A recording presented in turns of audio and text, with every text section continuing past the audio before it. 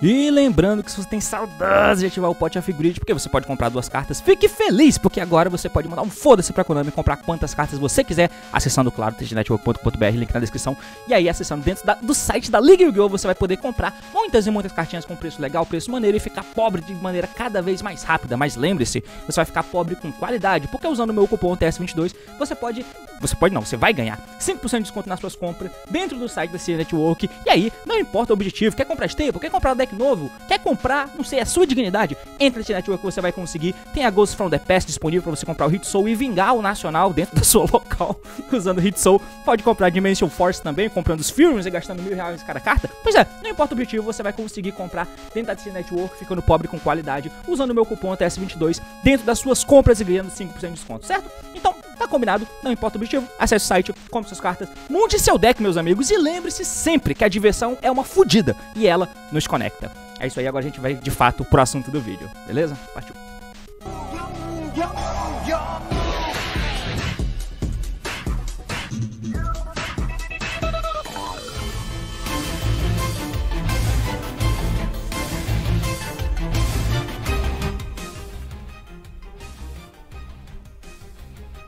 Fala aí, galera. Eu sou o T e quem diria, hein? Temos aí uma perspectiva de um deck que para desbancar o Tier 0. E muito bem, meus amigos, hoje eu tô aqui pra falar sobre um deck do OCG. Pois é, é, tem um tempo aí, né, que a gente vinha vendo o Splites, que é o novo deck, novo pra gente, né, porque na verdade esse deck ninguém lançou, então nem novo pra gente né, mas a nossa OCG já tem um tempo, que dropou na coleção Power of the Elements. Essa é a coleção que dropou em abril lá no OCG, para nós de TCG, vai dropar por meados ali de agosto, eu imagino, tá? Se você não tá ligado, dá uma olhada nesse vídeo aqui, onde eu falo dos splites tier 0, lá no OCG, porque ele pegou uma fatia, assim, mano, grande do competitivo do OCG, com mais de 60% de uso. E isso, para quem não sabe, é, mano, um claro indício de um tier 0. As outras fatias eram distribuídas de maneira bem pequena entre os decks, era uma migalha que os outros decks tinham. Mas, dentre eles, o deck que mais se destacava com essas migalhas era o Tiara Laments, que é mais um deck também de Power of the Elements, que eu fiz um vídeo falando sobre eles aqui. Claro que esse vídeo foi falando do anúncio deles, somente, sem ter pra onde olhar. Enfim, com o passar do tempo, vieram aparentemente umas cartas estranhas, que é umas fadas de terra, que aparentemente é da personagem Shizu, lá do anime do Yu-Gi-Oh! clássico. E, cara, Nesse último reporte, antes da banlist, tá? É importante falar, isso aqui é antes da banlist, e eu vou falar um pouquinho desse deck e a gente vai imaginar um pouco pós banlist também. Antes da banlist ter acontecido, ou seja, antes do sapo ter sido banido, nananana, banlist OCG que você pode ver aqui em cima, inclusive, já falei tudo aqui, né? Eu gosto de linkar tudo porque você tem muito vídeo para poder ver além desse aqui. Além dos 5 que eu posto por dia nos três canais, né? Enfim, te vira aí. Te vira pra assistir.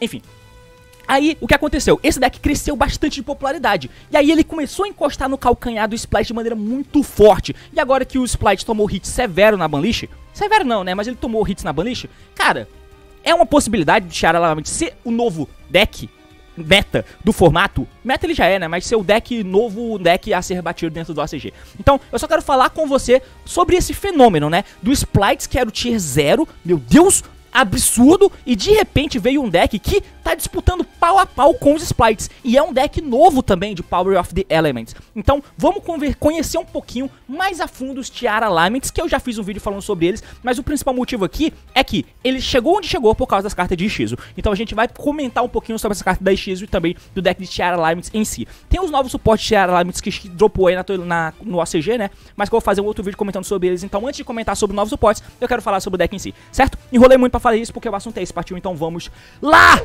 Muito bem, então aqui eu vou trocar a tela, né?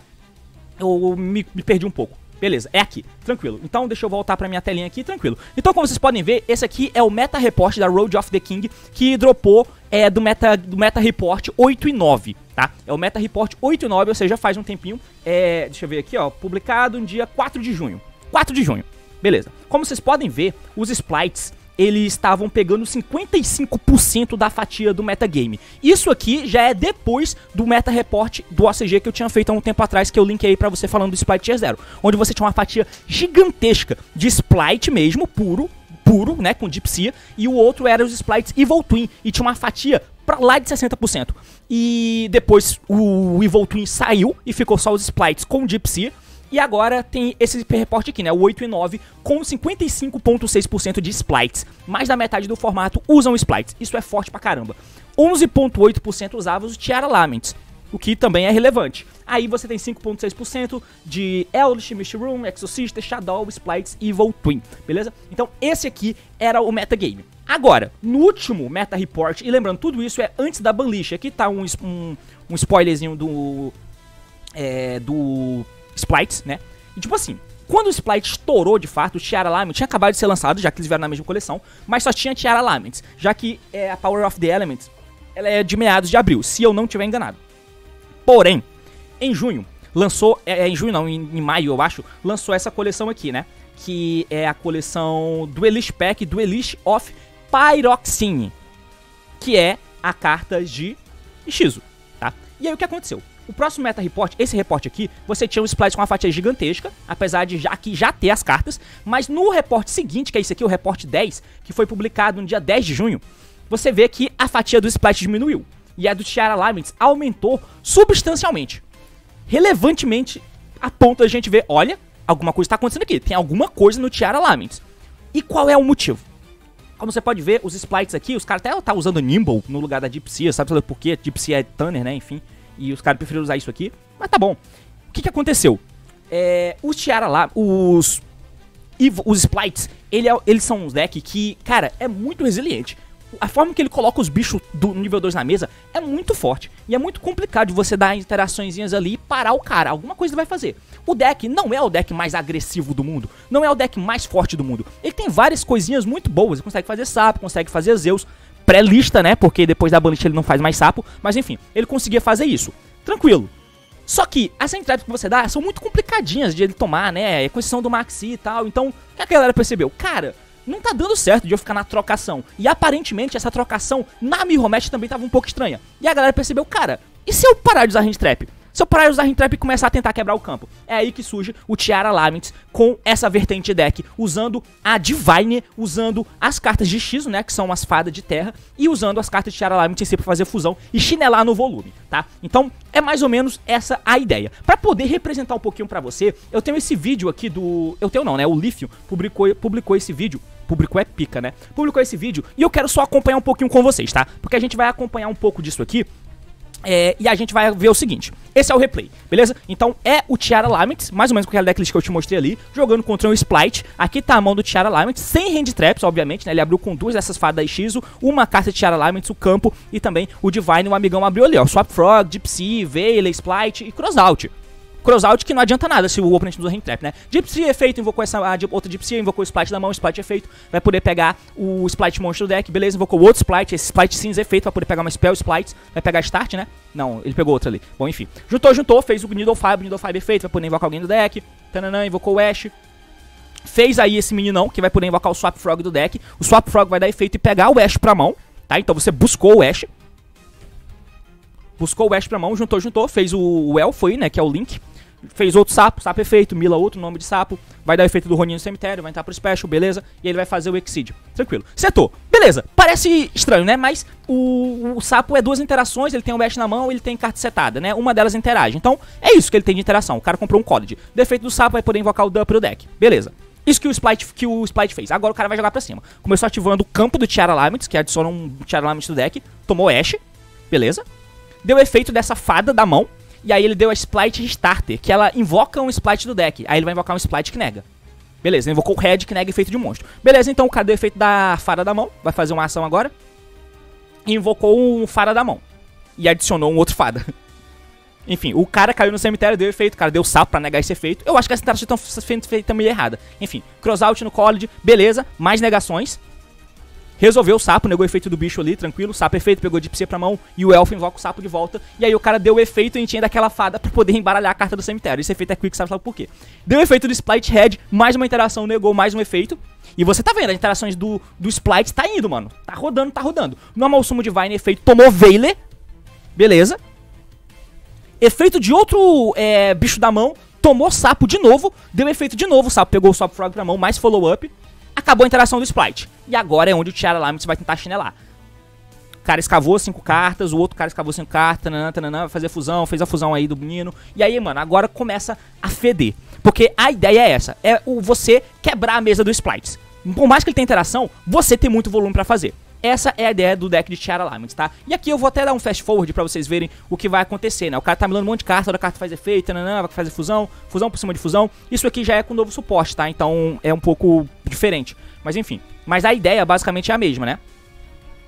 Tá rolando os efeitos, Access Code, Barone, tananã, tananã, tananã. Beleza, é isso. Feito isso, só pra te mostrar mais ou menos como funciona, agora eu vou pular pra tela do Yu-Gi-Oh! Pro. Na tela do Yu-Gi-Oh! Pro a gente vai falar de fato dos efeitos, tá? Então, como eu já fiz no meu vídeo que eu apontei pra você, espero que você veja lá, os Tiara Alignments, eles têm umas propriedades que eles compartilham. Basicamente, todos eles, quando são enviados pro cemitério por efeito, é, na verdade, é por efeito, né? Deixa eu ver. Se esse card é nome. Deixa eu ver qual é o efeito dele mesmo. Que eu tô, não tô lembrado. Se esse card é mandado pro cemitério por um efeito de carta, você pode fugir um summon, fugir um monstro deck por colocar materiais de fusões mencionado naquela fusão, né? Da tua mão, campo e o cemitério no fundo do deck, qualquer ordem, incluindo o Tiara Laments que ativou o efeito. Então você tem a Tiara Laments Cheyenne, essa menina aqui, né? Tem essa menina também e essa outra rapariga também. Então tem três Tiara Laments diferentes que fazem a mesma coisa. Além disso, você tem essa outra menininha aqui, que ela é o starter do deck, né? Ela não compartilha do mesmo efeito dos outros. Mas tudo bem, porque se ela é normal ou special, você pode mandar um Tiara Laments monstro do teu deck pro cemitério, exceto ela mesma. Tranquilo? E aí você triga o bicho que você enviou. O outro efeito é, se esse card é mandado pro cemitério por um efeito, você pode Special Summon essa carta e, se fizer, você manda tirar Alignment da tua mão pro cemitério. Efeito bom, essa carta é bem boa, tá? O próximo, então, entende que elas compartilham o efeito. Fazer fusão quando são enviados pro cemitério, usando o material do cemitério, da mão ou campo, voltando eles pro deck. Essa é a grande parada. Só que, no começo, do ACG, a galera tava usando o deck de Shara Alignments, que tentava usar uma hand trap aqui e ali, não tinha se direito uma perspectiva, usava branded e não conseguia fazer cócegas no sprite, tá? Não conseguia. E agora, a gente vai ver o porquê que essas cartas ajudam você a chegar em alguma coisa. Primeiro, elas são fortes, são cartas fortes. Uma coisa que elas te possibilitam é ter nível, é, uma, uma jogada de rank 4. De Exceed 4, né? Então, como você pode ver, tem aqui o Duelo e o Bagushka, o Redua e o Bagushka. Não, o Redu ou o Dueler e o Bagushka, que eu não coloquei aqui, sabe só Deus por quê. Então, você... ah, coloquei o Bagushka também sim. Enfim, tem essas possibilidades de Exceed 4, mas principalmente, elas te ajudam de muitas formas. Primeiro, tem esse cara aqui, né, que é o Agido, sei lá. Eles, alguns deles compartilham de um efeito, né, que se cartas são mandadas da mão ou do deck do oponente pro cemitério, você pode special summon essa, nesse caso do efeito dessa carta, né? Ó, se cartas são mandadas da mão e ou deck do oponente pro cemitério, você pode special summon essa carta da tua mão e você pode special summon um nível 4 fada, monstro do teu cemitério, exceto ele mesmo. Ok, ok. Beleza, mas e aí? Agora o outro efeito. Se esse card é mandado da mão ou deck pro cemitério, ou seja, Tiara Lament escava esse cara, o que é bom, você pode mandar cinco cartas do topo de ambos os players pro cemitério. E se tiver a Exchange of Spirit, que é essa trap aqui, ele pode fazer uma ação extra. Que é. Você pode mandar cinco cartas extras, seja do teu deck ou do deck do oponente, tá? Então basicamente é isso. Esse cara, ele te ajuda escavando cartas do deck do oponente pra trigar os teus próprios. É, eu não sei qual é o arquétipo dessas cartas fada aqui, enfim. E aí tem outro que triga mais ou menos da mesma forma. Beleza, então esse bicho é bom. É bom. Ele entra da mão e invoca um bicho do cemitério. Se o oponente mandar carta do deck dele ou da mão pro cemitério. Vai acontecer com frequência. O próximo é esse cara aqui. Ele também é bem interessante, tá? É talvez o mais interessante deles. O efeito é que você pode descartar uma outra fada de terra como custo. Special Summon essa carta da sua mão. E aí você pode adicionar um Exchange of, of, Spirit ou uma carta que mencione essa carta do deck pra tua mão. Ou seja, você dá o efeito dessa cara, desse cara, descarta qualquer fadinha que você tenha na mão. E aí ele vai poder adicionar uma outra fadinha. Porque, por exemplo, esse cara cita Exchange of Spirit no texto. Então, com esse cara, você busca esse. Parece bom o outro efeito dele. Esse efeito no cemitério é meio sem sentido, mas beleza. Quick Effect. Você pode banir essa carta do teu campo e o cemitério, um efeito Quick, e escolher até 5 cartas em qualquer cemitério. Devolva-os pro deck. Esse efeito é muito bom. E se Exchange of Spirit é, não tá no teu campo ou no teu cemitério na ativação desse efeito, você pode escolher só 3 é mais ou menos uma Ariel, só que você volta pro deck. Então é bom, você consegue tirar um monte de efeito do cemitério do oponente, tá? Inclusive tirar material do próprio Tiara Alignment, se for o caso. Próxima carta é esse menino aqui. É, que é o Beck, o nome dele. Se cartas são mandadas da mão e é o deck do, do deck do oponente pro cemitério, você pode. Cadê? Deixa eu ler de novo aqui, ó. É porque eu tenho que colocar no começo essa merda pra ficar melhor de eu ler. Uh, tá, tá, se cartas são mandadas, você pode escolher um monstro do oponente que foi Special invocado. Special soma essa carta da tua mão e retorne o alvo é, pra mão. Caralho, esse efeito é bom. Você pode ter esse cara na mão no turno do oponente, se ele mandar a carta pro cemitério da mão ou do deck, esse cara entra pro special, escolhe o monstro do oponente e volta pro deck. Parece ok. Se esse card é mandado da mão ou deck pro cemitério, você pode mandar 5 cartas de cada deck. E se a Exchange of Spirit estiver no teu cemitério, você pode setar uma trap do teu cemitério. Enfim, são cartas muito boas, né? Bizarro. Com a estratégia, né? Gira muito bem com a estratégia. O próximo efeito é esse cara aqui, o Mudora.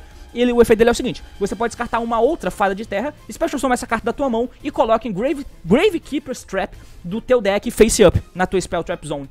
E você pode banir essa carta. O outro efeito é Quick Effect também. Você pode banir essa carta do teu campo e ao cemitério escolher até 5 cartas em qualquer cemitério e devolver pro deck. Mano, esses efeitos são nada a ver demais, cara. Pelo amor de Deus. A trap que ele seta é essa aqui: Grave Creeper's Trap.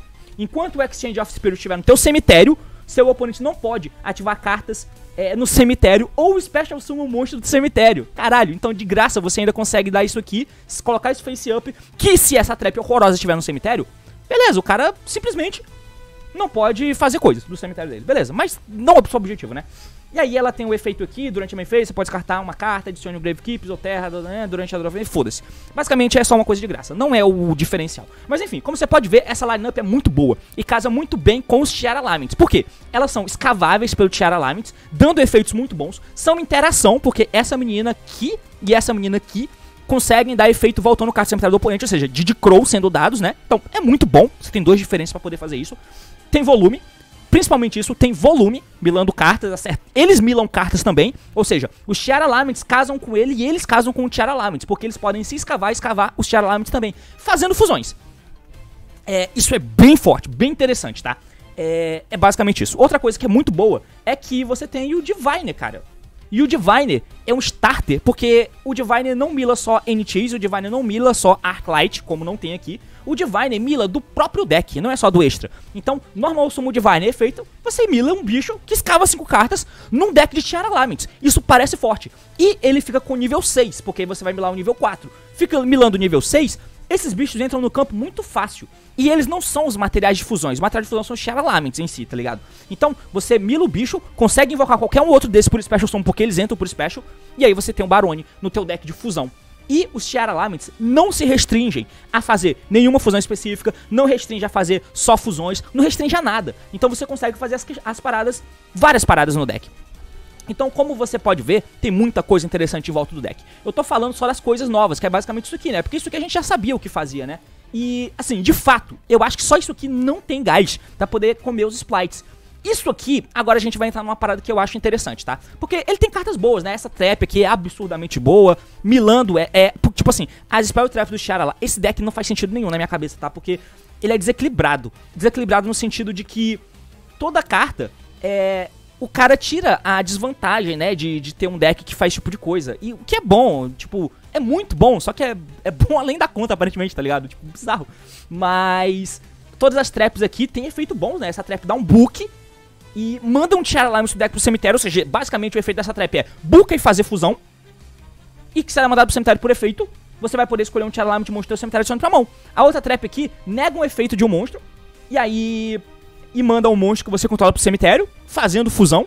E além disso, se ela mudar pro cemitério por efeito, você adiciona o Tiara Limit. Então, todas as Spell Traps têm um efeitinho de poder pegar a carta do cemitério pra mão, se ela for milada errada pegar a trap do cemitério pra mão, se ela for milada errada, né, com o efeito de Tiara. Então, não tem vantagem, além do campo poder interagir com o oponente. Enfim, as coisas que o deck faz si, foda-se. Mas, basicamente, o motivo do deck ter tido um up é esse, tá?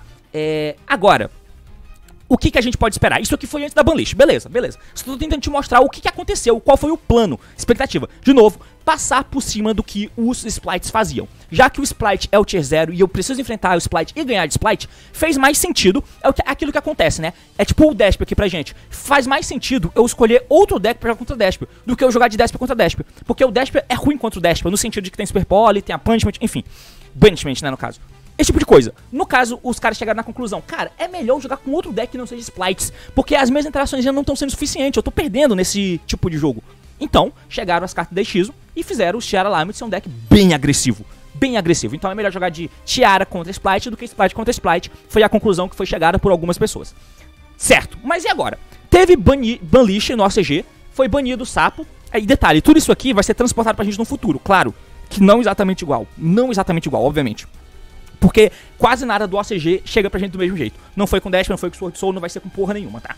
Enfim, agora o que vai acontecer? O que eu acho muito estranho nesse deck é que Mirromete dele deve ser um lixo. Deve ser ruim demais. Porque Imagina você ficar dando efeito desses bichos aqui e eles ficarem escavando cartas de Chara pro oponente.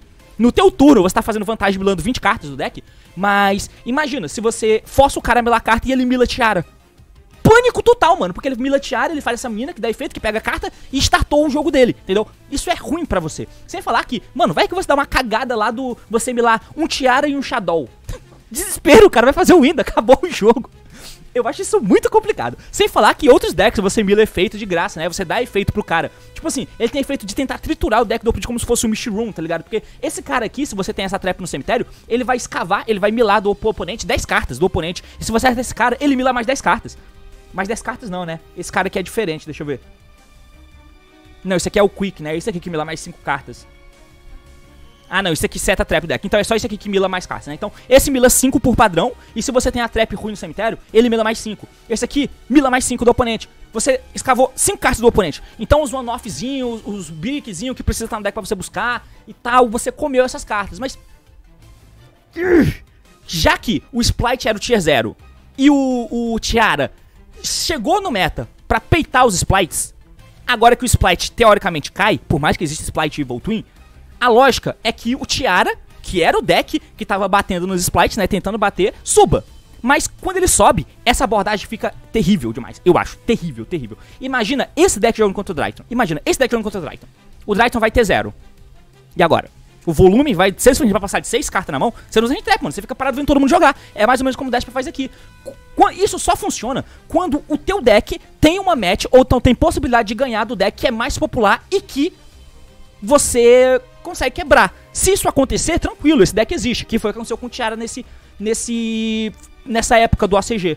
Agora, supondo que os sprites caiam, você começa a pegar mais combos, tipo o Dryton da vida, você consegue quebrar, tipo, difícil demais, né? Sem falar que Mihomet deve ser cagada demais por causa desses bichinhos melando carta do oponente. Então tem uma série de ressalvas que tem que ser feita aí. Mas é admirável que esse deck tenha conseguido bancar um pouco esse jogo contra os Splites. E eu particularmente acho que faz sentido o que eles fizeram lá, tá? O que é muito bom a gente ver novos decks por aí e um novo giro do metagame seja no ACG, que vai chegar pra gente no ACG em breve. E como vocês sabem, é, a, depois do ritual, a minha, o meu tipo de, de invocação favorito é fusão. Por isso que eu amo Invoked e Shadow. E sofro, porque o Shadow é horrível. Mas, com certeza, entre Splites e Tiara, eu prefiro Tiara. Com gosto pessoal. Mas eu não sei como vai acontecer aqui, né? Mas enfim, é basicamente isso. Se você não entendeu o que aconteceu agora, você entendeu. Espero que tenha entendido. Valeu, falou e até mais.